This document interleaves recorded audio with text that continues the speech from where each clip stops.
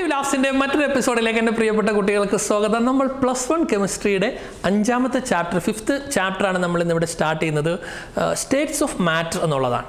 States of matter matter എന്താണ്? അതിന്റെ പ്രധാനപ്പെട്ട സ്റ്റേറ്റുകൾ ഏതൊക്കെയാണെന്നൊക്കെ ഉള്ളത് നമ്മൾ കൊച്ചു ക്ലാസ്സുകളിൽ പഠിച്ചിട്ടുണ്ട്. ഇക്കൊല്ലം ആദ്യം നമ്മൾ പഠിച്ചിരുന്നു സോളിഡ് ലിക്വിഡ് ഗ്യാസ് അവ തമ്മിലുള്ള വ്യത്യാസം എന്തൊക്കെയാണെന്നൊക്കെ പഠിച്ചിരുന്നു. നമ്മൾ കഴിഞ്ഞ ചാപ്റ്ററിൽ ശരിക്കും പറഞ്ഞ് നിർത്തിയത് എവിടെയാണെന്ന് അറിയോ നിങ്ങൾക്ക്? നമ്മൾ ആറ്റത്തിനെ കുറിച്ച് ഡീറ്റെയിൽ ആയിട്ട് പഠിച്ചു അതിന്റെ അറ്റമിക് സ്ട്രക്ചർ പഠിച്ചു ആറ്റംസ് കമ്പൈൻ ചെയ്തുകൊണ്ട് മോളിക്കൂൾ ഉണ്ടാകുന്നതിനെ കുറിച്ച് പഠിച്ചു അല്ലേ? ആ മോളിക്യൂൾസിന്റെ ഷേപ്പ് പഠിച്ചു അതിന്റെ പൊളാരിറ്റി പഠിച്ചു അയണൈസേഷൻ എനർജി പഠിച്ചു ഇങ്ങനെ പല കാര്യങ്ങളും നമ്മൾ പഠിച്ചു. പക്ഷേ കെമിക്കൽ കോമ്പൗണ്ടുകൾ ശരിക്കും കെമിക്കൽ കോമ്പൗണ്ടുകളുടെ പല പ്രോപ്പർട്ടികളും എക്സ്പ്ലെയിൻ ചെയ്യണമെന്നുണ്ടെങ്കിൽ നമുക്കൊരു സിംഗിൾ മോളിക്യൂൾ എടുത്തുകൊണ്ട് എക്സ്പ്ലെയിൻ ചെയ്യാനായിട്ട് കഴിയില്ല. പല പലപ്പോഴും ബൾക്കായിട്ടുള്ള മോളിക്യൂൾസ് എടുക്കേണ്ടി മോളിക്യൂൾസ് ഒരുപാട് എടുത്തിട്ട് വേണം നമുക്ക് പല പ്രോപ്പർട്ടിയും എക്സ്പ്ലെയിൻ ചെയ്യാനായിട്ട്. ഉദാഹരണത്തിന് വാട്ടറിന്റെ ബോയിലിംഗ് പോയിന്റ് നമ്മൾ എങ്ങനെ പറയുന്നത് വാട്ടറിന്റെ ബോയിലിംഗ് പോയിന്റ് ഒരു സിംഗിൾ വാട്ടർ മോളിക്യൂൾ ബോയിൽ ചെയ്യുന്നതല്ലല്ലോ. ഒരുപാട് വാട്ടർ മോളിക്യൂൾ അടുത്തടുത്ത് നിന്നുകൊണ്ട് അത് ലിക്വിഡ് സ്റ്റേറ്റിലായിരുന്നു അതിനകത്തേക്ക് ടെമ്പറേച്ചർ കൊടുക്കുമ്പോഴത്തേക്കും ആ മോളിക്യൂൾസ് എന്ത് ചെയ്യണം? അകന്നകന്ന് മാറിയിട്ട് വേപ്പർ സ്റ്റേറ്റിലേക്ക് മാറുന്ന ആ പ്രോസസ്സ് ആ ടെമ്പറേച്ചറാണ് ബോയിലിംഗ് ടെമ്പർ ബോയിലിംഗ് പോയിന്റ് എന്ന് പറയുന്നത് അല്ലേ? അപ്പോൾ അവിടെ എന്താ സംഭവിക്കുന്നത്? ഒരുപാട് മോളിക്യൂൾസിന്റെ കാര്യം പറയുന്നത്. ആ ഒരുപാട് മോളിക്യൂൾസ് എങ്ങനെ നിൽക്കുന്നു എന്നതാണ് ആ കോമ്പൗണ്ട് ഏത് സ്റ്റേറ്റിലാണ് എന്ന് തീരുമാനിച്ചതും ശരിക്കും. അപ്പോൾ സ്റ്റേറ്റ്സ് ഓഫ് മാറ്ററിനകത്ത് നമ്മൾ എക്സ്പ്ലെയിൻ ചെയ്യുന്നത് കഴിഞ്ഞ ചാപ്റ്റർ വരെ പഠിച്ച സിംഗിൾ ഇൻഡിവിജ്വൽ മോളിക്യൂളുകളെ കുറിച്ചിട്ടല്ല ബൾക്ക് മോളിക്യൂൾസിനെ എടുത്തിട്ട് അതിന്റെ പ്രോപ്പർട്ടി പറയുമ്പോൾ സ്വാഭാവികമായും അവിടെ എന്തുണ്ടാവും? പല സ്റ്റേറ്റുകൾ ഉണ്ടാവും. ആ കോമ്പൗണ്ട് ഒരു ഒരു ഒരു കോമ്പൗണ്ട് ഏത് സ്റ്റേറ്റിൽ നിൽക്കണം അത് സോളിഡ് ആകണോ? അത് ഗ്യാസ് ആകണോ? അതല്ല ലിക്വിഡ് സ്റ്റേറ്റിൽ ഒക്കുപൈ ചെയ്യണോ? എന്ന് തീരുമാനിക്കുന്നത് എന്താണ്? എന്താണ്? ഈ മോളിക്യൂളുകൾ തമ്മിലുള്ള ബന്ധമാണ്. നമ്മൾ ഈ ചാപ്റ്ററിന്റെ തുടക്കത്തിൽ പറയുന്നത് ഇന്നിപ്പോൾ ഇൻട്രൊഡക്ഷനിൽ പറയുന്നത് ആ ബന്ധത്തെക്കുറിച്ചിട്ടാണ്. സ്റ്റേറ്റ്സ് ഓഫ് മാറ്ററിൽ നമുക്കറിയാം സോളിഡ് ഉണ്ട് ഗ്യാസ് ഉണ്ട് ലിക്വിഡ് ഉണ്ട്. സോളിഡ് ലിക്വിഡ് ഗ്യാസ് ഉണ്ട്. ഇത് ഒരു കോമ്പൗണ്ട് ഏത് സ്റ്റേറ്റിൽ നിൽക്കണമെന്ന് തീരുമാനിക്കുന്നത് പ്രധാനമായിട്ടും രണ്ട് കാര്യങ്ങളാണ്. ഒന്ന് ഇന്റർ മോളിക്കുലാർ ഫോഴ്സസും രണ്ട് തെർമൽ ഇന്ററാക്ഷൻസും ഇന്റർ മോളിക്കുലാർ ഫോഴ്സസ് എന്ന് പറഞ്ഞാൽ ആ മോളിക്യൂളുകൾ തമ്മിലുള്ള ബന്ധമാണ്. ഇന്റർ ഫോഴ്സസ് പിന്നെ തെർമൽ ഇന്ററാക്ഷൻസും ആണ്. അത് നമ്മൾ രണ്ട് പോയിന്റാണ് നമ്മൾ ഇന്നത്തെ ക്ലാസ്സിൽ എക്സ്പ്ലെയിൻ ചെയ്യാനായിട്ട് പോകുന്നത്. അപ്പോൾ സ്റ്റേറ്റ്സ് ഓഫ് മാറ്ററിനകത്ത് മൂന്ന് സ്റ്റേറ്റ്സാണ് ഉള്ളത്. നമ്മൾ ആ മൂന്ന് സ്റ്റേറ്റ്സിൽ തന്നെ ഇക്കൊല്ലം നമ്മൾ രണ്ട് സ്റ്റേറ്റ്സേ പഠിക്കുകയുള്ളൂ. സോളിഡ് സ്റ്റേറ്റ് അടുത്ത കൊല്ലം പഠിക്കുന്നത്. ലിക്വിഡ് സ്റ്റേറ്റിനെ കുറിച്ചിട്ടും ഗ്യാസ് സ്റ്റേറ്റിനെ കുറിച്ചിട്ടും ഡീറ്റെയിൽഡ് ആയിട്ട് നമുക്ക് ഇക്കൊല്ലം പഠിക്കും. ഓക്കെ അപ്പോൾ ഒരു കോമ്പൗണ്ട് ഏത് സ്റ്റേറ്റ് നിൽക്കണമെന്ന് തീരുമാനിക്കുന്നത് ആരാണ് എന്ന് ആദ്യം നമ്മൾ അറിയണം. എങ്കിലും നമുക്ക് ആ പ്രോ അതിന്റെ പ്രോപ്പർട്ടീസ് പറയുമ്പോഴത്തേക്ക് കാര്യങ്ങൾ മനസ്സിലാവുള്ളൂ. രണ്ട് ഫാക്ടേഴ്സാണ് ഉള്ളത്. അതാണ് ഈ ചാപ്റ്ററിന്റെ തുടക്കത്തിലുള്ളത്. ഒന്ന് മോളിക്കുലാർ ഫോഴ്സസും രണ്ടാമത് തെർമൽ ഇന്ററാക്ഷൻസും ആണ്. മോളിക്കുലാർ ഫോഴ്സ് ഈ രണ്ട് ഘടകങ്ങളാണ് ഒരു കോമ്പൗണ്ട് ഏത് സ്റ്റേറ്റിലാണ് നിൽക്കേണ്ടത് എന്ന് തീരുമാനിക്കുന്നത്. അപ്പോൾ നമ്മൾ ആദ്യം എടുക്കാൻ പോകുന്നത് ഇന്റർ മോളിക്കുലാർ ഫോഴ്സസ് ആണ്. നമ്മൾ കഴിഞ്ഞ ചാപ്റ്ററിന്റെ ലാസ്റ്റ് പറഞ്ഞു നിർത്തിയ ഒരു കാര്യം ഇവിടെ വരും. അതിന്റെ കണ്ടിന്യൂഷനായിട്ട് വരുന്നതാണ് ശരിക്കും. എന്താണ് intermolecular forces intermolecular force നിങ്ങൾക്ക് അറിയാം നമ്മൾ ഓൾറെഡി പഠിച്ചിട്ടുള്ളതാണ് മോളിക്യൂളുകൾ തമ്മിലുള്ള അട്രാക്ഷൻസിനെയും റിപ്പൽഷനെയുമാണ് ശരിക്കും എന്ത് പറയുന്നത്? ഇന്റർ മോളിക്കുലാർ ഫോഴ്സസ് എന്ന് പറയുന്നത്. രണ്ട് മോളിക്യൂളുകൾ നമ്മൾ ഇൻട്രാ മോളിക്കുലാർ ആണ് കഴിഞ്ഞ ചാപ്റ്ററിലൊക്കെ പഠിച്ചത്. ഇൻട്രാ മോളിക്കുലാർ ഫോഴ്സ് ആണ് ശരിക്കും ഒന്ന് covalent bond ionic bond metallic bond എന്നൊക്കെ പറഞ്ഞ് പലതരത്തിലുള്ള ബോണ്ടുകൾ ഇൻട്രാ മോളിക്കുലാർ ആണ് അല്ലേ? അതിനകത്തുള്ള ആറ്റങ്ങൾ തമ്മിലുള്ള ബന്ധമാണ്. പക്ഷേ സ്റ്റേറ്റിനെ തീരുമാനിക്കുന്ന ഒരു കോമ്പൗണ്ടിന് സ്റ്റേറ്റിന് തീരുമാനിക്കുന്ന എന്താണ്?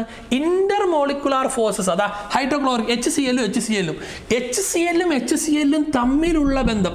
ഇവിടെ ഉള്ളത് എന്താണ്? ഇത് ഇൻട്രാ മോളിക്കുലാറാണ് എച്ചും സി എല്ലും തമ്മിൽ. ഇവിടെ എന്താണ്?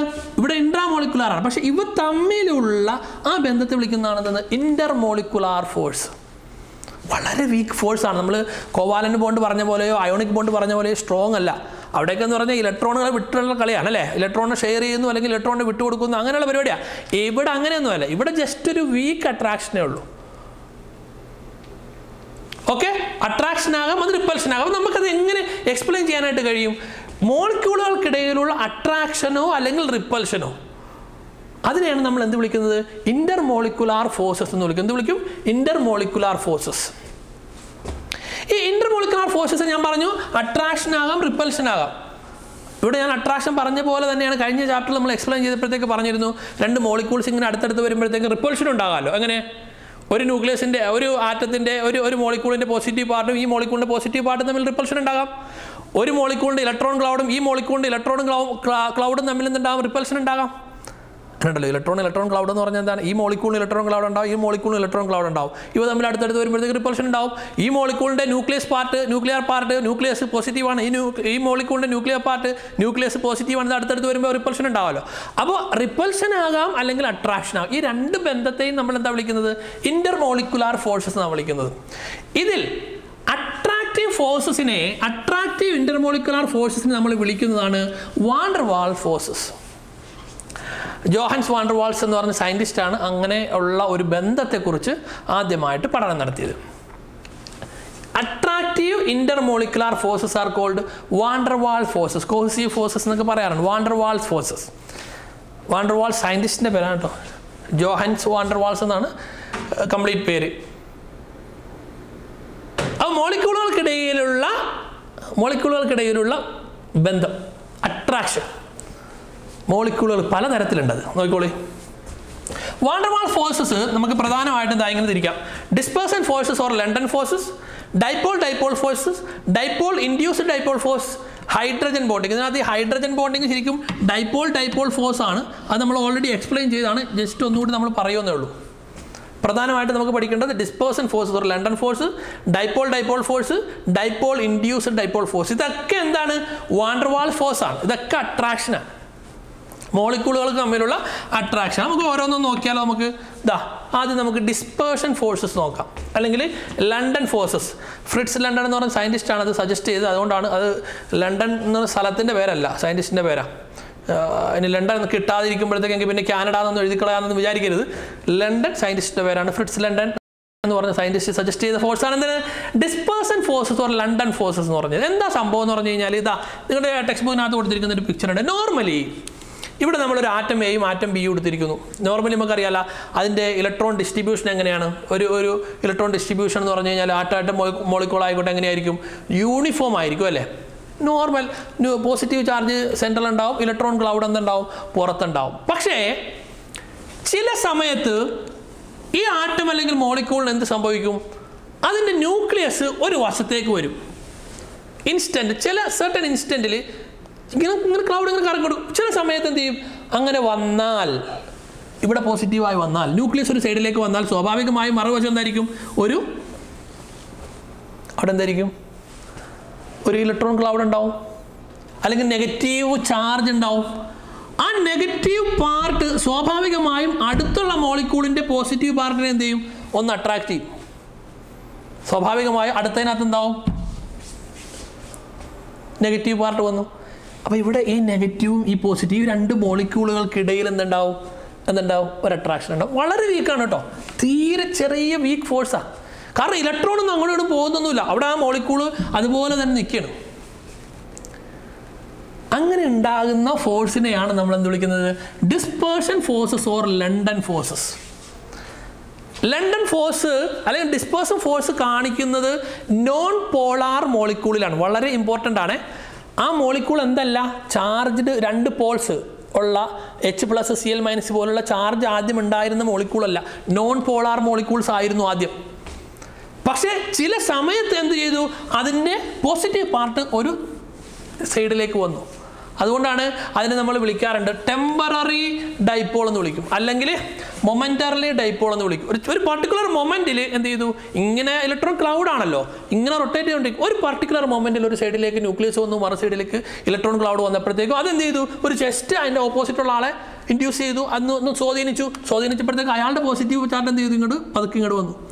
അപ്പോൾ ഇവ തമ്മിലുള്ള ഇന്റർമോളിക്കുലാർ ഫോഴ്സിനെയാണ് ശരിക്കും എന്ത് വിളിക്കുന്നത്? ഡിസ്പേഴ്സൺ ഫോഴ്സ് അല്ലെങ്കിൽ ലണ്ടൻ ഫോഴ്സ് എന്ന് വിളിക്കുന്നു. വളരെ വീക്കാണ്. ഇതുപോലെ തന്നെ ആ ഇലക്ട്രോൺ ന്യൂക്ലിയസ് ഈ സൈഡിലേക്കാണ്? ന്യൂക്ലിയസ് ഈ സൈഡിലേക്കാകാം ഇലക്ട്രോൺ ഇങ്ങോട്ടാകാം അപ്പോഴത്തേക്ക് എന്ത് ചെയ്യും? ഈ ന്യൂക്ലിയസിന്റെ നെഗറ്റീവ് ക്ലൗഡിനെ ആയിരിക്കും ഇങ്ങോട്ട് വിളിക്കുന്നത്. ന്യൂക്ലിയസ് അങ്ങോട്ട് പോകും ഓപ്പോസിറ്റ് സെയിം ആണല്ലോ. ഇവിടെ പോസിറ്റീവ് വന്നാൽ സ്വാഭാവികമായും ആരെ ഇൻഫ്ലുവൻസ് ചെയ്യും? മറ്റേ ആളെ ഇൻഫ്ലുവൻസ് ചെയ്യാൻ സാധ്യതയുണ്ട്. അപ്പോൾ ഈ പോസിറ്റീവ് ഈ നെഗറ്റീവ് ക്ലൗഡിന്റെ റീജിയനും തമ്മിലുണ്ടാകുന്ന വളരെ വീക്കായിട്ടുള്ള ഫോഴ്സ് ഈ ഇതിന്റെ പ്രത്യേകത അതാണ്. Important only at short distance five hundred പൈക്കോമീറ്ററിനകത്തേ ഉള്ളൂ. മോളിക്കുള്ള ദൂരെയാണെങ്കിൽ ഒരു ബന്ധമില്ല. ഇത് മോളിക്യൂൾസ് അടുത്ത് വരുമ്പോൾ ഉണ്ടാകുന്ന ചില പർട്ടിക്കുലർ മൊമെന്റിൽ ഉണ്ടാകുന്ന മൊമെന്ററലി ആയിട്ടുള്ള ഇൻസ്റ്റന്റേനിയസ് ആയിട്ടുള്ള ടെമ്പററി ആയിട്ടുള്ള ആ ബന്ധത്തെയാണ് നമ്മൾ എന്ത് വിളിക്കുന്നത്? ഡിസ്പേഴ്സൺ ഫോഴ്സ് അല്ലെങ്കിൽ ലണ്ടൻ ഫോഴ്സ് എന്ന് വിളിക്കുന്നത്. Their magnitude depends upon the polarizability of the particle. ഇതിന്റെ മാഗ്നിറ്റ്യൂഡ് എന്തുമാത്രം പിന്നെ അതിന് മാഗ്നിറ്റ്യൂഡ് ഉണ്ട് അളവ് വലുതാണോ ആ ഫോഴ്സ് വലുതാണോ ചെറുതാണോ എന്ന് തീരുമാനിക്കുന്നത് ഈ മോളിക്യൂളിന്റെ പോളറൈസബിലിറ്റിയാണ് പോളറൈസബിലിറ്റി എന്ന് പറഞ്ഞാൽ നമ്മൾ കഴിഞ്ഞ ചാപ്റ്ററിൽ പഠിച്ചതാണ്. ഫയാൻസ് റൂളൊക്കെ പറഞ്ഞപ്പോഴത്തേക്ക് പഠിച്ചതാണ്. പോളറസിബിലിറ്റി എന്ന് പറഞ്ഞാൽ പോളറൈസബിലിറ്റി എന്ന് പറഞ്ഞാൽ ഈ മോളിക്യൂളിന് പോസിറ്റീവും നെഗറ്റീവും പോൾസായി മാറാനുള്ള കഴിവ്. അതിനനുസരിച്ചിട്ടാണ് ഇതിന്റെ സ്ട്രെങ്ത് എന്ന് പറഞ്ഞു കഴിഞ്ഞാൽ ഇവൻ ഉഷാറായിട്ട് അതായത് ഇവനൊരു അബദ്ധം പറ്റി അത് കറങ്ങിക്കൊണ്ടിരുന്നപ്പോഴത്തേക്ക് ന്യൂക്ലിയസ് ഒരു വശത്തേക്ക് വന്നു. അവനങ്ങനെ വന്നപ്പോൾ അതിന്റെ സ്വാധീനത്താൽ ഇവന് പോൾസ് ക്രിയേറ്റ് ചെയ്യാനായിട്ട് നന്ന കഴിവുണ്ട് എങ്കിൽ ഇവർ തമ്മിൽ നല്ല ബന്ധമായിരിക്കും കാരണം എന്താണ്? അവന്റെ പോസിറ്റീവ് പാർട്ട് മൊത്തം അപ്പുറത്തേക്ക് പോകും ഇലക്ട്രോൺ ക്ലൗഡ് മൊത്തം ഇങ്ങോട്ട് ഒരു പോളറൈസ് ചെയ്യാനുള്ള പോളറൈസ് പോളറൈസബിലിറ്റി കഴിഞ്ഞ ഇതിൽ പറഞ്ഞാൽ നമ്മൾ പിന്നെ പോസിറ്റീവ് നെഗറ്റീവ് പോളുകൾ ക്രിയേറ്റ് ചെയ്യാനുള്ള സ്വയം കഴിവാണ്. അപ്പോൾ ഇവൻ നല്ല പോളറൈസബിലിറ്റി ഉള്ളതാണെങ്കിൽ എന്ത് ചെയ്യും? ആ ഇലക്ട്രോൺ ക്ലൗഡ് മൊത്തം ഇങ്ങോട്ട് വരും. അപ്പോൾ നല്ല ബന്ധം ഉണ്ടാവും. അതല്ല ആൾ സ്ട്രോങ് ആണ്. ഇവന്റെ വശീകരണം കണ്ടിട്ടൊന്നും ആൾ വീഴുന്നില്ലെങ്കിലോ? പോളറൈസിബിലിറ്റി കുറവാണെങ്കിലോ? ഇവ തമ്മിൽ വലിയ ബന്ധം ഉണ്ടാവില്ല കാരണം നെഗറ്റീവ് ക്ലൗഡ് ഇവിടെ ഉണ്ടാവില്ല. ഈ ന്യൂക്ലിയസ് കുറച്ചുകൂടി ഇങ്ങോട്ട് അടുത്ത് വരും. ഈ ന്യൂക്ലിയസ് ഇങ്ങോട്ട് അടുത്തടുത്ത് വരും തോറും ഇവൻ പോസിറ്റീവ് ആണെങ്കിൽ റിപ്പൽഷൻ ആയിരിക്കുമല്ലോ. അകന്ന് പോകില്ല അടുപ്പുണ്ടാവില്ലല്ലോ അപ്പോൾ ഈ പോളറൈസബിലിറ്റി ആണ് ഇതിന്റെ മാഗ്നിറ്റ്യൂഡ് തീരുമാനിക്കുന്നത്. എന്തുമാത്രം ഉണ്ട് ലണ്ടൻ ഫോഴ്സ് എന്തുമാത്രം ഉണ്ട് എന്ന് തീരുമാനിക്കുന്ന ഒരു ഘടകാരാണ് അതിന്റെ പോളറൈസബിലിറ്റിയാണ് interaction energy of London force is direct inversely proportional to distance between the particles. 1 by r raised to 6 ആണ് അത്രയ്ക്ക് പവറാണ് അതായത് ഇന്ററാക്റ്റീവ് എനർജി മോളിക്യൂൾസ് തമ്മിലുള്ള interaction energy inversely proportional to the distance between the molecules ആണ്. Molecules തമ്മിലുള്ള അടുപ്പം കൂടിക്കഴിഞ്ഞാൽ അടുപ്പം കുറഞ്ഞു കഴിഞ്ഞാൽ ഫോഴ്സ് കൂടും. അടുപ്പം കൂടിക്കഴിഞ്ഞാൽ ഡിസ്റ്റൻസ് കൂടിക്കഴിഞ്ഞാൽ ഫോഴ്സ് കുറയും. അപ്പോൾ ലണ്ടൻ ഫോഴ്സ് വേണമെന്നുണ്ടെങ്കിൽ എവിടെ വരണം? ഇവിടെ ആയിരുന്നുണ്ട് ആറ് താഴ്ത്താണ് ഡിസ്റ്റൻസ് താഴ്ത്താണ്. അപ്പോൾ ലണ്ടൻ ഫോഴ്സ് കൂടണമെന്നുണ്ടെങ്കിൽ ഇത് കുറയണം. ഇത് കുറയുക എന്ന് പറഞ്ഞാൽ ആറ് കുറയുക എന്ന് പറഞ്ഞാൽ ഡിസ്റ്റൻസ് കുറയുക. അടുത്തടുത്ത് വന്നെ? അപ്പോൾ അടുത്തടുത്ത് വന്നാൽ മാത്രമേ ഇതിന് എന്തുള്ളൂ? മോളിക്യൂൾസ് തമ്മിൽ അടുത്താണെങ്കിൽ മാത്രമേ ഉള്ളൂ. ഈ ലണ്ടൻ ഫോഴ്സ് അല്ലെങ്കിൽ ഡിസ്പേർഷൻ ഫോഴ്സ് അതിന് റോളുള്ളൂ ഫൈവ് ഹൺഡ്രഡ് പൈക്കോമീറ്ററിനുള്ളിലാണ് അത് നമുക്ക് കാണാൻ കഴിയുള്ളൂ. നമ്മൾ പറയുന്നത് എന്തിനെ കുറിച്ചിട്ടാണ്? മോളിക്യൂൾസുകളെ തമ്മിൽ അടുപ്പിച്ച് നിർത്തുന്ന ഫോഴ്സുകളെ കുറിച്ചിട്ടാണ്. അത് അട്രാക്ഷൻ ആകാം റിപ്പൽഷൻ ആകാം. അട്രാക്ഷനെ നമ്മൾ കോമൺ ആയിട്ട് വിളിക്കുന്നതാണ് എന്തെന്ന്? വാണ്ടർവാൾ ഫോഴ്സസ് എന്നാണ് വിളിക്കുന്നത്. ആ വാണ്ടർവാൾ ഫോഴ്സസിന്റെ ഒന്നാമത്തെ കാറ്റഗറിയാണ് നമ്മൾ പറഞ്ഞത്. Dispersion forces or London forces clear ആണല്ലോ? ഇനി രണ്ടാമത്തെ എന്ന് പറഞ്ഞു കഴിഞ്ഞാൽ dipole dipole forces dipole dipole ആ പേരിൽ തന്നെ. ഡൈപോൾ രണ്ട് പോലുണ്ട് രണ്ട് പോലുണ്ട് ഫോഴ്സസ് എന്ന് വെച്ചാൽ എന്താണ്? ഇപ്പോൾ നമ്മൾ സാധാരണ മോളിക്കൂളൊക്കെ എടുക്കില്ല ഇവിടെ എച്ച് സി എൽ എടുത്തു. എച്ച് സി എൽ ആ മോളിക്കൂളിന് തന്നെ എന്തുണ്ട്? ഇത് പോളാർ മോളിക്കൂളാണ് അപ്പോൾ ഡൈപോൾ ഡൈപോൾ ഫോഴ്സ് കാണിക്കുന്നത് ഏത് കോമ്പൗണ്ട് ആയിരിക്കും? പോളാർ മോളിക്യൂൾസ് ആയിരിക്കും. നേരത്തെ ഞാൻ പറഞ്ഞു ലണ്ടൻ ഫോഴ്സ് കാണിക്കുന്ന ആരാണ്?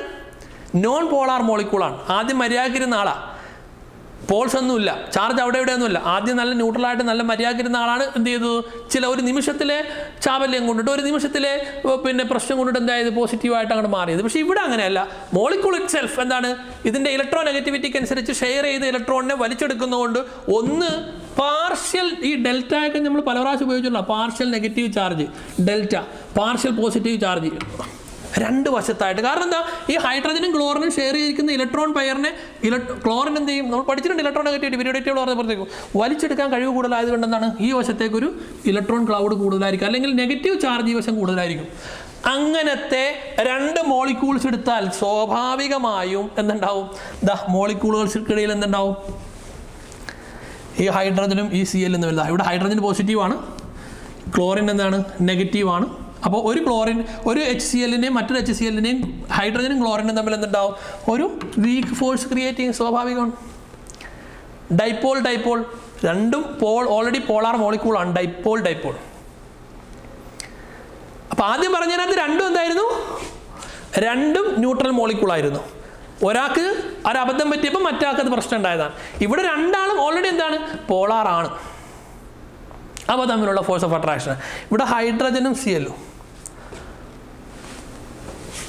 സ്ട്രോങ്ങർ ദി ലണ്ടൻ ഫോഴ്സ് ഈ ഡൈപ്പോൾ ഡൈപ്പോൾ എന്ന് പറഞ്ഞു കഴിഞ്ഞാൽ stronger than the London force London ഫോഴ്സിനേക്കാൾ കുറച്ചുകൂടി ഉഷാറാണ് കാരണം എന്താണ്? ലണ്ടൻ ഫോഴ്സ് എന്ന് പറഞ്ഞു കഴിഞ്ഞാൽ പറഞ്ഞല്ലോ ആ ഒരു നിമിഷത്തിൽ ഉണ്ടായ ഒരു പ്രശ്നം മാത്രമാണ് ഇതങ്ങനെയല്ല ഇത് ഓൾറെഡി ചാർജ്ഡ് ആയിട്ട് അല്ലെങ്കിൽ പോളാർ പോൾസ് ഓൾറെഡി ക്രിയേറ്റ് ചെയ്തിട്ടുള്ള മോളിക്യൂൾസ് രണ്ടും. അപ്പോൾ അതിന് കുറച്ചുകൂടി ബന്ധം ഉണ്ടാവും അട്രാക്ഷൻ കൂടുതലായിരിക്കും മീൻസ് ലണ്ടൻ ഫോഴ്സിനേക്കാൾ സ്ട്രോങ് ആയിരിക്കും ആര്?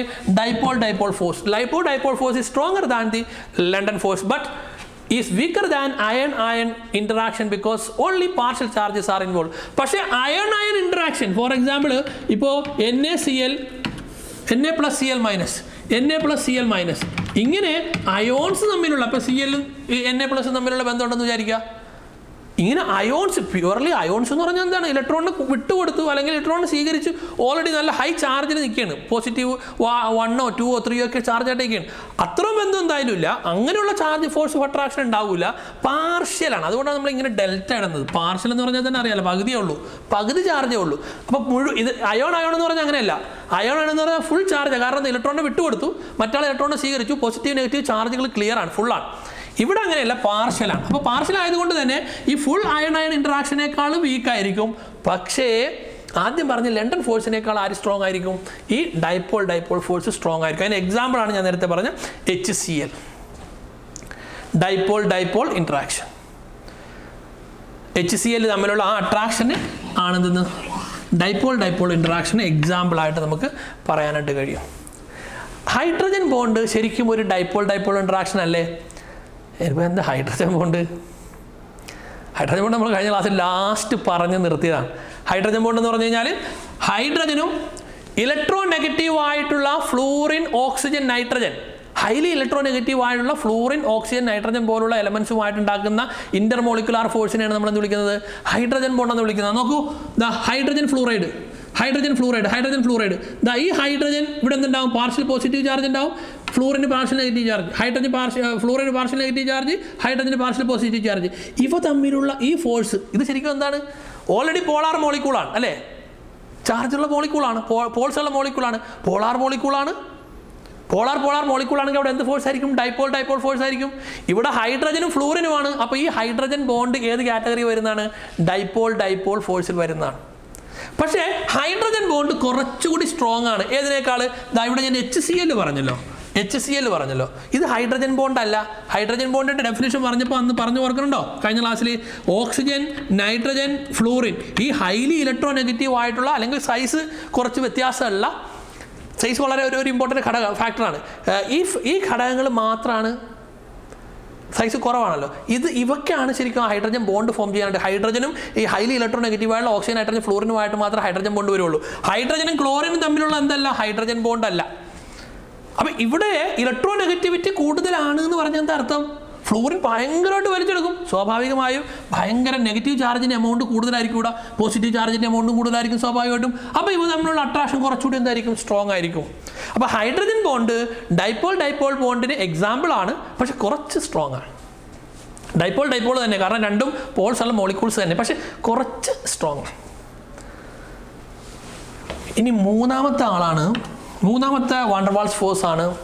Dipole induced dipole force dipole dipole എന്ന് പറഞ്ഞാൽ രണ്ടിനും എന്തുണ്ട്? ചാർജ് ഉണ്ട്. അല്ലെങ്കിൽ പോൾസ് ഉണ്ട്. ഇവിടെ ഡൈപ്പോൾ ആദ്യത്തെ മോളിക്യൂളിന് ഡൈപ്പോളാണ് പിന്നെ എന്ത് ചെയ്യണം അത്? ഡൈപ്പോൾ ഇൻഡ്യൂസ് ചെയ്യാൻ. ഡൈപ്പോൾ കൊടുക്കണം അങ്ങോട്ട്. നോക്കൂ ഒരു മോളിക്യൂൾ അതിന് പെർമനന്റ് ഡൈപ്പോൾ ഉണ്ട്. പോളാർ മോളിക്യൂളാണ് എ ഇവിടെ ഡെൽറ്റ പ്ലസും ഡെൽറ്റ മൈനസും ഉണ്ട്. ഇതിന്റെ ഈ മൈനസിന്റെ സാന്നിധ്യം കൊണ്ട് തൊട്ടടുത്തുള്ള ഒരു നോൺ പോളാർ മോളിക്യൂളിനെ എന്ത് ചെയ്യും? അത് പോൾസ് ക്രിയേറ്റ് ചെയ്യും. കാരണം ഇവിടെ നെഗറ്റീവ് വരുമ്പോൾ ഈ നോൺ പോളാർ എന്ത് ചെയ്യും? അതിന്റെ പോസിറ്റീവ് പാർട്ട് ഇങ്ങോട്ട് വരും. ഇതാ പോസിറ്റീവ് പാർട്ട് ഇങ്ങോട്ട് വന്നു. നെഗറ്റീവ് ഇലക്ട്രോണുകൾ അവിടെ അങ്ങോട്ടും പോയി സ്വാഭാവികമായും ഈ നെഗറ്റീവ് പോസിറ്റീവ് തമ്മിൽ എന്തുണ്ടാവും? അപ്പോൾ ദാ ഈ ഡൈപ്പോൾ ഉള്ള പോളാർ മോളിക്യൂൾ ഇവിടെ എന്ത് ചെയ്യാണ്? ഇൻഡ്യൂസ് ചെയ്യാൻ. എന്ത് ചെയ്യാണ്? ഇൻഡ്യൂസ് ചെയ്യാൻ. അവിടെ ക്രിയേറ്റ് ചെയ്യുകയാണ്. അപ്പോൾ ഈ മൂന്ന് കാറ്റഗറി നിങ്ങൾ കൃത്യമായിട്ട് മനസ്സിലാക്കണം. ആദ്യത്തെ രണ്ടും ചാർജ് ഇല്ലാത്തതായിരുന്നു. രണ്ടാമത്തത് രണ്ടും എന്തായിരുന്നു? പോളാറായിരുന്നു രണ്ടിനും ചാർജുകൾ ഉള്ളതായിരുന്നു. മൂന്നാമത്തതിൽ ഒന്നിന് ചാർജ് ഉണ്ട് ഒന്നിന് ചാർജ് ഇല്ല. അപ്പോൾ ഇതിന്റെ ചാർജിന്റെ സാന്നിധ്യം കൊണ്ടാണ് ഇവിടെ എന്താ ഇൻഡ്യൂസ് ചെയ്യുന്നത്. ക്രിയേറ്റ് ചെയ്യണം അവിടെ അപ്പോൾ എന്തുണ്ടാവും? ഇത് നേരത്തെ പറഞ്ഞ പോലെ തന്നെ നമുക്ക് പറയാനായിട്ട് കഴിയും. Depends upon the dipole moment present in the permanent dipole and the polarizability of the electrically neutral molecule എന്തിനെ രണ്ട് ഘടകങ്ങളാണ് ആശ്രയിച്ചിരിക്കുന്നത്? ഒന്ന് ഇതിന്റെ ഡൈപോൾ മൊമെന്റ് ഡൈപോൾ മൊമെന്റ് പറഞ്ഞതാണ് കേട്ടോ. കഴിഞ്ഞ ചാപ്റ്ററിൽ പഠിച്ചതാണ്. ഡൈപ്പോ ഇതിന്റെ ഡൈപോൾ മൊമെന്റ് ആ പോൾസ് ക്രിയേറ്റ് ചെയ്തിട്ട് ഓൾറെഡി എത്ര ഉണ്ട് ഡൈപോൾ മൊമെന്റ് അതൊരു ഫാക്ടർ ഡൈപോൾ മൊമെന്റിന് അനുസരിച്ചിട്ട് എന്ത് ചെയ്യും? ഇവിടെ ഫോഴ്സ് ഓഫ് അട്രാക്ഷൻ കൂടും. രണ്ടാമത്തത് ഇതിന്റെ പോളറൈസിബിലിറ്റി പോളറൈസിബിലിറ്റി നമ്മൾ പറഞ്ഞതാണ്. സ്വയം പോൾസ് ക്രിയേറ്റ് ചെയ്യാനുള്ളതാ ഇവനും ഇവിടെ വന്ന് ഇങ്ങനെ കാണിക്കുമ്പോൾ കൈയും കാലും കാട്ട് കാണിക്കുമ്പോഴത്തേക്കും കൈയും കാലിട്ട് ആക്ഷൻ കാണിക്കുമ്പോഴത്തേക്ക് അതിൽ വശംവദനായി ദാ ഇങ്ങോട്ട് പോസിറ്റീവിനെ കൊടുത്താൽ ഒരു ചായവ് കാണിക്കുന്ന ഇവന്റെ കഴിവിനെയാണ് എന്ത് വിളിക്കുന്നത്? രണ്ടാമത്തെ ന്യൂട്രൽ മോളിക്കൂളിന്റെ നോൺ പോളാർ മോളിക്കൂളിന്റെ ന്യൂട്രൽ മോളിക്കൂൾ അല്ലെങ്കിൽ നോൺ പോളാർ മോളിക്കൂളിന്റെ ആ പോളറൈസിബിലിറ്റി അവൻ ഉഷാറാണെങ്കിൽ പോളറൈസബിലിറ്റി എന്തിനാ ആശ്രയിക്കും? അത് നമ്മൾ പറഞ്ഞിട്ടുണ്ട്. നോക്കൂ high polarizability increases the strength of attractive interaction high polarizability ആണ് ഈ മോളിക്കൂളിന് ഹൈ പോളറൈസബിലിറ്റി ആണ് എങ്കിൽ ഇവ തമ്മിലുള്ള അട്രാക്ഷൻ കൂടും. കാരണം എന്താണ്? ഹൈ പോളറൈസബിലിറ്റി ഭയങ്കരമായിട്ട് പോൾസ് ക്രിയേറ്റ് ചെയ്യും. അപ്പോൾ ഇവ തമ്മിലുള്ള അട്രാക്ഷൻ എന്താ? ഇത് ഓൾറെഡി പോളാറാണ് അവ തമ്മിലുള്ള അട്രാക്ഷൻ കൂടും. ഈ പോളറൈസബിലിറ്റി എന്തിനനുസരിച്ച് മാറും? സൈസ് കൂടുന്നതനുസരിച്ചിട്ട് മാറും. ഫയാൻസ് റൂൾ പഠിച്ചാൽ ഓർമ്മയുണ്ടാവും വലിയ മോളിക്കൂൾ ആണെങ്കിൽ ഈസി ആയിട്ട് പോളറൈസ് ചെയ്യാൻ കഴിയും. അപ്പോൾ ഇവിടെ നോക്കുമ്പോഴേ ഈ മോളിക്കൂൾ വലുതാണെന്നുണ്ടെങ്കിൽ ഈ ഈ രണ്ടാമത്തെ ന്യൂട്രൽ മോളിക്കൂൾ വലുതാണെന്നുണ്ടെങ്കിൽ എന്ത് സംഭവിക്കും? ഈസി ആയിട്ട് അതിനെന്ത് ചെയ്യാൻ കഴിയും? പോളറൈസ് ചെയ്യാൻ കഴിയും. ഇവിടെ പോസിറ്റീവ് ഇവിടെ നെഗറ്റീവായിട്ട് മാറാനായിട്ട് കഴിയും. അപ്പോൾ ഇവിടെ ഫോഴ്സ് ഓഫ് അട്രാക്ഷൻ എന്തായിരിക്കും? അട്രാക്ഷൻ കൂടുതലായിരിക്കും. ഏത്? ഡൈപോൾ ഇൻഡ്യൂസ്ഡ് ഡൈപോൾ അട്രാക്ഷൻ കൂടുതലായിരിക്കും. അപ്പോൾ ഇതാണ് മൂന്ന് ഫോഴ്സുകൾ ഒന്ന് എന്താണ്? ലണ്ടൻ ഫോഴ്സ് ആണ്. രണ്ടാമത്തത് ഡിസ്പേർഷൻ ഫോഴ്സ് അല്ലെങ്കിൽ ലണ്ടൻ ഫോഴ്സ് രണ്ടാമത്തത് ഡൈപോൾ ഡൈപോൾ ഇൻട്രാക്ഷൻ ആണ്. മൂന്നാമത്തത് ഡൈപോൾ ഇൻഡ്യൂസ്ഡ് ഡൈപോൾ ഫോഴ്സ് ആണ്. ഡൈപോൾ ഇൻഡ്യൂസ്ഡ് ഡൈപോൾ ആദ്യത്തെ രണ്ട് ആദ്യത്തെ ഒന്ന് എന്ന് പറഞ്ഞു കഴിഞ്ഞാൽ രണ്ടും neutral molecule means non polar മോളിക്കൂളാണ് രണ്ടാമത്തത് രണ്ടും പോളാർ മോളിക്കൂളാണ് മൂന്നാമത്തത് ഒന്ന് പോളാറും ഒന്ന് നോൺ പോളാറുമാണ് ന്യൂട്രൽ മോളിക്കൂളാണ് ക്ലിയർ ആണല്ലോ? ഓക്കെ ഇതാണ് നമുക്ക് അട്രാക്ഷനുമായി ബന്ധപ്പെട്ട് പറയാനുള്ളത്. ഏത്? ഇന്റർ മോളിക്കുലാർ അട്രാക്ഷൻ അതുപോലെ തന്നെ മോളിക്യൂൾസുകൾക്ക് തമ്മിൽ എന്തുണ്ട്? റിപ്പൽസീവ് ഫോഴ്സും ഉണ്ട്.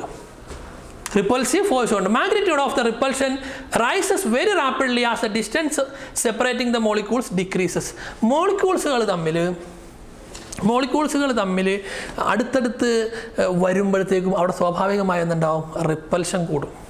എന്ത് കൂടും? റിപ്പൽഷൻ അപ്പോൾ മോളിക്യൂൾസ് അടുത്താണെന്നുണ്ടെങ്കിൽ റിപ്പൽഷൻ കൂടുതലായിരിക്കും. കാരണം എന്താണ്? മോളിക്യൂൾസ് അടുത്തടുത്ത് വരുന്നതനുസരിച്ച് ഇതാ അതിന്റെ ന്യൂക്ലിയസുകൾ പോസിറ്റീവ് അല്ലേ? ന്യൂക്ലിയസുകൾ പോസിറ്റീവ് ആണ്. പോസിറ്റീവ് പോസിറ്റീവ് റിപ്പൽ ചെയ്യും. ഇതാ ഇലക്ട്രോൺ ക്ലൗഡുകൾ ഇലക്ട്രോൺ ക്ലൗഡുകൾ പുറത്തുണ്ടല്ലോ. നെഗറ്റീവ് നെഗറ്റീവ് അല്ലേ? നെഗറ്റീവ് നെഗറ്റീവ് തമ്മിൽ എന്ത് ചെയ്യും? റിപ്പൽസ് റിപ്പൽഷൻ ഉണ്ടാവും. അപ്പോൾ മോളിക്യൂൾസ് അടുത്തടുത്ത് വരുന്നതനുസരിച്ച് റിപ്പൽസീവ് ഫോഴ്സ് കൂടും. അതുകൊണ്ടാണ് സോളിഡ് സ്റ്റേറ്റിനകത്ത് നമുക്കറിയാലോ ഗ്യാസിന് നമുക്ക് കംപ്രസ് ചെയ്യാം. ഗ്യാസിനകത്ത് മോളിക്യൂൾസ് വളരെ ദൂരെയാണ്. സോളിഡിനകത്ത് നമുക്ക് കംപ്രസ് ചെയ്യാൻ കഴിയും. കാരണം അടുത്തടുത്താണ് ഇരിക്കുന്നത്. അതിന്റെ അകത്ത് റിപ്പൽഷൻ കൂടുതലാണ്. അതുകൊണ്ട് നമുക്ക് എന്ത് ചെയ്യാൻ പറ്റില്ല ഓൾറെഡി മോളിക്കൂൾ അടുത്തടുത്ത് നിൽക്കുന്നുണ്ട് റിപ്പൽസീവ് ഫോഴ്സ് അവിടെ ഉണ്ട്. അതുകൊണ്ട് നമ്മൾ കംപ്രസ് ചെയ്താൽ താഴില്ല അപ്പോൾ ഒരു മോളിക്യൂൾ അല്ലെങ്കിൽ ഒരു കോമ്പൗണ്ട് ഏത് സ്റ്റേറ്റിലാണ് എന്ന് തീരുമാനിക്കുന്ന ഒന്നാമത്തെ ഘടകമാണ് എന്തെന്ന്? ഇന്റർ മോളിക്കുലാർ ഫോഴ്സ് ഒന്നാമത്തെ ഘടകം എന്തെന്ന്? Intermolecular force intermolecular force രണ്ട് തരത്തിലാകാം. അത് അട്രാക്ഷൻ ആകാം റിപ്പൽഷൻ ആകാം. അട്രാക്ഷൻ തന്നെ നമുക്ക് കോമൺ ആയിട്ട് വിളിക്കുന്നത് എന്താണ്? വാണ്ടർവാൾ ഫോഴ്സസ് എന്നാണ് വിളിക്കുന്നത്. കോസി ഫോഴ്സ് വാണ്ടർവാൾ ഫോഴ്സസ് എന്നൊക്കെ വിളിക്കുന്നത്. അത് തന്നെ നമ്മൾ മൂന്ന് തരത്തിലാണ് പറഞ്ഞത്. ഡിസ്പേഴ്സൺ ഫോഴ്സ് അല്ലെങ്കിൽ London force dipole dipole force പിന്നെ dipole induced dipole force dipole dipole ഫോഴ്സിനകത്ത് വരുന്നതാണ് എന്തെന്ന്? ഹൈഡ്രജൻ ബോണ്ടിങ് ഹൈഡ്രജൻ ബോണ്ടിങ് കഴിഞ്ഞ ഇതിൽ വരു പറഞ്ഞുകൊണ്ട് നമ്മൾ എന്ത് ചെയ്യുക? കൂടുതലായിട്ട് എക്സ്പ്ലെയിൻ ചെയ്യുന്നില്ല. ഇതിനകത്ത് ചോദ്യങ്ങൾ വരുമ്പോഴത്തേക്കേ. ഇതിനകത്ത് നമ്മളിവിടെ പിന്നെ പോളാർ ഇൻഡ്യൂസ്ഡ് ഡൈപ്പോൾ എടുത്തല്ലോ. ഒരു ചോദ്യം ചിലപ്പോൾ ചോദിക്കുന്നതാ മോ വാട്ടർ എടുത്തു എന്ന് വിചാരിക്കുക വാട്ടർ പോളാർ മോളിക്കൂളാണ് അല്ലേ വാട്ടർ പോളാർ മോളിക്കൂൾ അല്ലേ? H plus H plus O minus ആണല്ലോ പാർഷ്യൽ നമ്മൾ പഠിച്ചിട്ടുള്ള പോളാർ മോളിക്കൂളാണ് ഈ വാട്ടറിനകത്ത് നമ്മൾ കുറച്ച് ഗ്യാസ് എടുക്കുന്നതാ. ഹീലിയം നിയോൺ ക്രിപ്റ്റോൺ സിനോൺ ഇതിൽ ആരായിരിക്കും ഏറ്റവും കൂടുതൽ സോലിബിൾ ആകുന്നത്? സോലിബിലിറ്റി എന്ന് പറഞ്ഞു കഴിഞ്ഞാൽ വാട്ടറുമായിട്ടുള്ള ഇൻട്രാക്ഷൻ ഉണ്ടാക്കാൻ ഒരു ബോണ്ട് ഉണ്ടാക്കാൻ ഫോ ഒരു ബോണ്ട് ഉണ്ടാക്കാനുള്ള കഴിവാണ്. അട്രാക്ഷൻ കൂട്ടാനുള്ള കഴിവാണ്. ഇതിൽ ആർക്കായിരിക്കും കൂടുതൽ ഈ വാട്ടറിൽ സോൾവ് ചെയ്യാനുള്ള കഴിവ്? ഇവിടെ ഇത് നോബൽ ഗ്യാസ് ആണ്. പീരിയോഡിക് ടേബിളിൽ നോബൽ ഗ്യാസ് ആണ്. ഹീലിയം നിയോൺ ക്രിപ്റ്റോൺ സിനോൺ ഇങ്ങനെ താഴത്തേക്ക് വരുന്നതോറും സൈസ് കൂടി കൂടി വരികയാണ് അല്ലേ? സൈസ് കൂടി കൂടി വരുമ്പോഴത്തേക്കും പോളറൈസബിലിറ്റി സ്വയം പോൾസ് ആയിട്ട് മാറാനുള്ള കഴിവ് കൂടും. സ്വാഭാവികമായും ജിനോണിനായിരിക്കും ആ കഴിവ് കൂടുതൽ അല്ലേ? അപ്പോൾ സിനോൺ എന്ത് ചെയ്യും? വാട്ടറിന്റെ സാന്നിധ്യത്തിൽ ഇത് പോളാർ മോളിക്കൂളാണ് സിനോൺ ന്യൂട്രൽ ആണ്. സിനോൺ വാട്ടറിന്റെ സാന്നിധ്യത്തിൽ കൂടുതൽ പോളറൈസ് ചെയ്യും. കൂടുതൽ പോളറൈസ് ചെയ്യുമ്പോൾ അവ തമ്മിൽ എന്തായി? അട്രാക്ഷൻ ഉണ്ടായി. അട്രാക്ഷൻ കൂടുമ്പോഴത്തേക്ക് സോലിബിലിറ്റി കൂടും. അട്രാക്ഷൻ കൂടുമ്പോൾ സോലിബിലിറ്റി കൂടും. അപ്പോൾ അങ്ങനെ ഈ ഇത് നമ്മൾ പറഞ്ഞ പോയിന്റുമായി ബന്ധപ്പെട്ട് ഇതൊക്കെ ഈ പോയിന്റുകളൊക്കെ തന്നെ ഇനി പല ചാപ്റ്റേഴ്സിലും പലയിടത്തും വരും കേട്ടോ. അവിടെ വീക്ക് വാണ്ടർ വാൾ ഫോഴ്സ് ആണ് അവിടെ ഡൈപോൾ ഡൈപോൾ ഇൻഡ്യൂസ്ഡ് ഫോഴ്സ് ആണ് അല്ലെങ്കിൽ ഡൈപോൾ ഇൻഡ്യൂസ്ഡ് ഫോഴ്സ് ആണെന്നൊക്കെ പറഞ്ഞിങ്ങനെ വരുമ്പോൾ നിങ്ങൾക്ക് കറക്റ്റായിട്ട് അത് മനസ്സിലാവണമെന്നുണ്ടെങ്കിൽ അവിടെ നമ്മൾ എക്സ്പ്ലെയിൻ ചെയ്യുമ്പോഴത്തേക്കും മിക്കവാറും ചാപ്റ്ററുകൾ ഈ വേർഡുകൾ വരുന്നുണ്ട്. പ്രോപ്പർട്ടീസ് എക്സ്പ്ലെയിൻ ചെയ്യുമ്പോഴത്തേക്കും. അവിടെ മനസ്സിലാകണമെന്നുണ്ടെങ്കിൽ ഇതിനെക്കുറിച്ച് നിങ്ങൾക്ക് എന്തുണ്ടാകണം? നല്ല ധാരണ ഉണ്ടാകണം. ക്ലിയർ ആണല്ലോ അപ്പോൾ ഒരു മോളിക്യൂളിന്റെ സ്റ്റേ ഒരു കോമ്പൗണ്ടിന്റെ സ്റ്റേറ്റ് തീരുമാനിക്കുന്ന ഒന്നാമത്തെ ഘടകമാണ് നമ്മൾ പറഞ്ഞത് ഇന്റർ മോളിക്കുലാർ ഫോഴ്സ് ക്ലിയർ ആണല്ലോ അത്? ഇനി രണ്ടാമത്തെ ഘടകമാണ് തെർമൽ എനർജി അല്ലെങ്കിൽ തെർമൽ ഇന്ററാക്ഷൻസ് അതുമായി ബന്ധപ്പെട്ടൊരു വേർഡാണ് തെർമൽ മോഷൻ ആ കോമ്പൗണ്ടിന്റെ ആ സ്റ്റേറ്റിന്റെ എന്താണ് തെർമൽ എനർജി എന്ന് പറഞ്ഞു കഴിഞ്ഞാൽ thermal energy is the energy of a body arising from motion of its atom or molecule അല്ലെങ്കിൽ നമുക്ക് പറയാൻ പറ്റുന്നത് measure of the average kinetic energy of the particle ഒരു കോമ്പൗണ്ടിന്റെ ആറ്റത്തിന്റെ മോളിക്യൂൾസിന്റെ മോഷൻ വഴി അതിന്റെ മൂവ്മെന്റ് വഴി ഉണ്ടാകുന്ന എനർജിയെയാണ് നമ്മളെന്ത് വിളിക്കുന്നത്? തെർമൽ എനർജി എന്ന് വിളിക്കുന്നത്. ശരിക്കും മൂവ്മെന്റ് വഴി ഉണ്ടാകുന്ന കൈനറ്റിക് എനർജി ഉണ്ടല്ലോ. ആവറേജ് കൈനറ്റിക് എനർജിയാണ് measure of average kinetic energy of the particle രണ്ടും സെയിം ആണ്. ഫിസിക്സിനകത്ത് ചിലപ്പോൾ നിങ്ങൾ അങ്ങനെ ഇരിക്കും പഠിച്ചിരിക്കുന്നത് ആവറേജ് കൈനറ്റിക് എനർജി ആ മോളിക്യൂൾസ് അല്ലെങ്കിൽ ആറ്റം അല്ലെങ്കിൽ മോളിക്യൂളുകളുടെ മോഷൻ വഴി മൂവ്മെന്റ് വഴി ഉണ്ടാകുന്ന എനർജിയെയാണ് ആ ബോഡിക്ക് ടോട്ടൽ ഉണ്ടാകുന്ന എനർജിയാണ് ആ സിസ്റ്റത്തിന് ഉണ്ടാകുന്ന എനർജിയാണ് നമ്മൾ എന്ത് വിളിക്കുന്നത്? തെർമൽ എനർജി എന്ന് വിളിക്കുന്നത്. എന്ത് വിളിക്കുന്നത്? Thermal energy thermal energy is directly proportional to temperature temperature കൂടുന്ന അനുസരിച്ച് തെർമൽ എനർജി കൂടും. സ്വാഭാവികമാണ്. കാരണം എന്താണ്? ഇപ്പോൾ ഉദാഹരണത്തിന് ഞാൻ ഐസ് എടുത്തു. ഐസ് സോളിഡ് സ്റ്റേറ്റ് ആണ് വാട്ടറിന്റെത് അതിനകത്ത് ഞാൻ ടെമ്പറേച്ചർ കൊടുക്കും. ഐസിനകത്ത് തെർമൽ എനർജി കുറവായിരിക്കും. കാരണം എന്താണ്? അനങ്ങാൻ കഴിയുന്നില്ല. മോളിക്യൂൾസിനൊന്നും ഇളകാൻ കഴിയുന്നില്ല. കാരണം ക്ലോസ്ലി പാക്ഡ് ആണ്. ഇനി ഞാൻ കുറച്ച് ടെമ്പറേച്ചർ കൊടുത്തു എന്ന് വിചാരിക്കുക. ഈ ഐസ് ഉരുകി എന്തായിട്ട് മാറും? വെള്ളമായിട്ട് മാറും. ലിക്വിഡ് സ്റ്റേറ്റ് ആണ്. മോളിക്യൂൾസ് ഒന്ന് ഫ്രീ ആയി. ഫ്രീ ആകുമ്പോൾ മൂവ്മെന്റ് കൂടും. മൂവ്മെന്റ് കൂടുമ്പോഴത്തേക്ക് എന്ത് കൂടും? തെർമൽ എനർജി കൂടും. ഇനി ഞാൻ കുറച്ചുകൂടി ടെമ്പറേച്ചർ കൊടുത്തതെന്ന് വിചാരിക്കുക. ദാ ലിക്വിഡിലുള്ള ആ ലിക്വിഡ് സ്റ്റേറ്റിലുള്ള വാട്ടർ എന്താവും? മുകളിൽ ആവിയായിട്ട് മുകളിലേക്ക് പോകും വേപ്പർ സ്റ്റേറ്റിലേക്കാവും വേപ്പർ സ്റ്റേറ്റിൽ എത്തിക്കഴിഞ്ഞാൽ പിന്നെ പറയേണ്ട കാര്യമില്ല. കാരണം എന്താണ് മോളിക്കൂൾസ് ചാറ പറ മൂവ്മെന്റ് ആയിരിക്കും. അങ്ങോട്ടും ഇങ്ങോട്ടും പോയിരിക്കും അല്ലേ? അങ്ങനെ ഒരുപാട് മൂവ്മെന്റ് ഉണ്ടാകുമ്പോൾ അവിടെ തെർമൽ എനർജി എന്തായിരിക്കും? കൂടുതലായിരിക്കും. അപ്പോൾ ഇവിടെ തെർമൽ എനർജി കുറവായിരുന്നു ആദ്യം സോളിഡ് സ്റ്റേറ്റിൽ ഗേഷ് സ്റ്റേറ്റ് ആയപ്പോൾ തെർമൽ എനർജി കൂടി. കാരണം എന്താണ്? ഞാൻ ടെമ്പറേച്ചർ കൂട്ടി കൊടുത്തു സോ ടെമ്പറേച്ചർ കൂടുന്നതനുസരിച്ചിട്ട് തെർമൽ എനർജി എന്ത് ചെയ്യും? കൂടും. ടെമ്പറേച്ചർ കൂടുന്നതനുസരിച്ചിട്ട് തെർമൽ എനർജി കൂടും. ക്ലിയർ അല്ലേ? This movement of particle is called thermal motion ഞാനിവിടെ മുകളിൽ തെർമൽ മോഷൻ എന്നൊരു ടൈം കൂടെ എഴുതിയിരുന്നു. ആ മൂവ്മെന്റിനെ വിളിക്കുന്ന പേരാണെന്ന് തെർമൽ മോഷൻ ഇങ്ങനെ പിന്നെ ഫ്രീ ആയിട്ട് അല്ലെങ്കിൽ ആ മോളിക്യൂൾസിന്റെ മോഷൻ ഫ്രീ മൂവ്മെന്റിനെ വിളിക്കുന്ന എന്താണ്? തെർമൽ മോഷൻ തെർമൽ മോഷൻ എവിടെ കുറവായിരിക്കും? സോളിഡ് സ്റ്റേറ്റിൽ കുറവായിരിക്കും. അല്ലെങ്കിൽ ആ മൂവ്മെന്റിനനുസരിച്ചിട്ട് മൂവ്മെന്റ് ഉണ്ട് എങ്കിൽ എന്തായിരിക്കും? അത് ഗേഷ്യസ് സ്റ്റേറ്റിലായിരിക്കും അപ്പോൾ ഇത് ഇന്റർ റിലേറ്റഡ് ആണ്. അപ്പോൾ ഒരു മോളിക്യൂൾ അല്ല ഒരു കോമ്പൗണ്ട് സോളിഡ് സ്റ്റേറ്റിൽ നിൽക്കണോ? ഗേഷ്യസ് സ്റ്റേറ്റിൽ നിൽക്കണോ? അതല്ല ലിക്വിഡ് സ്റ്റേറ്റിൽ നിൽക്കണോ എന്ന് തീരുമാനിക്കുന്നത് ആ മോളിക്യൂൾസിന്റെ മൂവ്മെന്റ് അതുവഴി ഉണ്ടാവുന്ന എനർജി ആ മോളിക്യൂൾസ് തമ്മിലുള്ള ഇന്റർ മോളിക്കുലാർ ഫോഴ്സ് ഇതാണ് ശരിക്കും എന്ത് തീരുമാനിക്കുന്നത്? ആ കോമ്പൗണ്ട് ഏത് സ്റ്റേറ്റിൽ നിൽക്കണം എന്ന് തീരുമാനിക്കുന്നത്? Three states of matter are the result of balance between intermolecular forces and thermal energy of the molecule അതാണ് അതിന്റെ ഒരു കൺസെപ്റ്റിന്റെ ബേസ് എന്ന് പറഞ്ഞു കഴിഞ്ഞാൽ ഈ സ്റ്റേറ്റ്സ് ഓഫ് മാറ്റർ എന്ന് പറഞ്ഞ ചാപ്റ്ററിന്റെ ബേസ് അതാണ്. സ്റ്റേറ്റ്സ് ഓഫ് മാറ്റർ ഉണ്ടാകുന്നത് ആ മോളിക്യൂളുകൾക്കിടയിലുള്ള ഇന്റർ മോളിക്കുലാർ ഫോഴ്സിന്റെയും ആ മോളിക്യൂളുകളിലുള്ള തെർമൽ എനർജി മോളിക്യൂൾസിന്റെ മൂവ്മെന്റ് വഴി ഉണ്ടാകുന്ന തെർമൽ എനർജിയുടെയും ആകെത്തുകയാണ്. അല്ലെങ്കിൽ ആ രണ്ട് ഫാക്ടേഴ്സ് ആണ് അതിനെ ഡിപ്പെൻഡ് ചെയ്യുന്നത്. ഇതിനകത്ത് നമുക്ക് ഈ പറഞ്ഞ രണ്ട് പോയിന്റ് കൂടി ഇങ്ങനെ പറയാനായിട്ട് കഴിയും. ഇന്റർ മോളിക്കുലാർ ഇന്ററാക്ഷൻ നമ്മൾക്ക് ഗ്യാസിനകത്തായിരിക്കും ഇന്റർ മോളിക്കുലാർ ഇന്ററാക്ഷൻ കുറവ് അല്ലേ? സോളിഡിനകത്ത് എന്തായിരിക്കും ഇന്റർ മോളിക്കുലാർ ഇന്ററാക്ഷൻ കൂടുതലായിരിക്കും. അതുകൊണ്ടാണ് അത് അടുത്ത് വന്നത്. ആ മോളിക്കുലാർ ഇന്ററാക്ഷൻ അടുത്തുകൊണ്ടാണ് സോളിഡ് സ്റ്റേറ്റ് ആയത്. അപ്പോൾ സോളിഡ് സ്റ്റേറ്റിൽ predominance of intermolecular interaction ആണ്. ഇന്റർ മോളിക്കുലാർ ഇന്ററാക്ഷൻ കൂടുതലായിരിക്കും ഇവിടെ. ഏത്? ഗ്യാസിനേക്കാൾ കൂടുതലായിരിക്കും ലിക്വിഡ് ലിക്വിഡിനേക്കാൾ കൂടുതലായിരിക്കും സോളിഡ് എന്നാൽ തെർമൽ എനർജി നേരെ തിരിച്ചായിരിക്കും. തെർമൽ എനർജി സോളിഡിൽ കുറവായിരിക്കും. കാരണം അനങ്ങാൻ കഴിയില്ല. ഏറ്റവും കൂടുതലുള്ള എവിടെ ആയിരിക്കും ഗ്യാസിനകത്തായിരിക്കും അതിനകത്ത് മോളിക്യൂൾസിന് വളരെ വൈബ്രന്റ് ആയിട്ട് മൂവ് ചെയ്യാനായിട്ട് കഴിയും. സോ തെർമൽ എനർജി കൂടുതലായിരിക്കും. അപ്പോൾ ഈ രണ്ട് ഘടകങ്ങൾ ഇന്റർ മോളിക്കുലാർ ഇന്ററാക്ഷൻസും തെർമൽ അതുവഴി മോളിക്യൂൾസിന്റെ മൂവ്മെന്റ് വഴി ഉണ്ടാകുന്ന തെർമൽ എനർജിയുമാണ് ഒരു മോളി ഒരു കോമ്പൗണ്ട് ഏത് സ്റ്റേറ്റിൽ നിൽക്കണം? സോളിഡ് സ്റ്റേറ്റിൽ നിൽക്കണോ? ഗ്യാസ് സ്റ്റേറ്റിൽ നിൽക്കണോ? ലിക്വിഡ് സ്റ്റേറ്റിൽ നിൽക്കണോ എന്ന് തീരുമാനിക്കുന്നത്.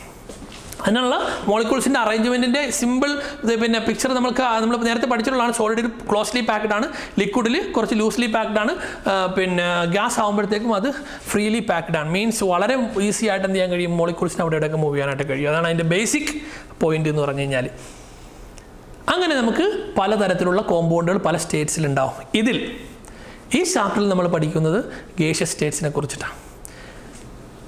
ലിക്വിഡ് സ്റ്റേറ്റിനെ കുറിച്ചിട്ട് ഇക്കൊല്ലം നമ്മൾ പഠിക്കും. അടുത്ത കൊല്ലമാണ് നമ്മൾ സോളിഡ് സ്റ്റേറ്റിനെ കുറിച്ചിട്ട് പഠിക്കുന്നത് ഒരു ചാപ്റ്റർ തന്നെയുണ്ട് സോളിഡ് സ്റ്റേറ്റ് എന്ന് പറഞ്ഞിട്ട്. ക്ലിയർ ആണല്ലോ പറഞ്ഞത്? ബാക്കിയുള്ള പോയിന്റ്സ് ഗേഷ്യ സ്റ്റേറ്റിന്റെ പ്രോപ്പർട്ടീസ് കുറച്ച് ലോസ് ഒക്കെ ഉണ്ട്. വളരെ സിമ്പിളാണ് വളരെ സിമ്പിൾ ചാപ്റ്ററാണ് ഇത് വളരെ ഈസിയാണ് രസകരമാണ്. അത് നമ്മൾ ബാക്കിയുള്ള ടോപ്പിക്കുകളുമായിട്ട് അടുത്ത എപ്പിസോഡിൽ കാണാം. വീഡിയോ ലൈക്ക് ചെയ്യാൻ കമന്റ് ചെയ്യാൻ ഷെയർ ചെയ്യാൻ മറക്കരുത്. ബാക്കിയുള്ള ടോപ്പിക്കുകളുമായി അടുത്ത ക്ലാസ്സിൽ കാണാം. അതുവരെ ഗുഡ് ബൈ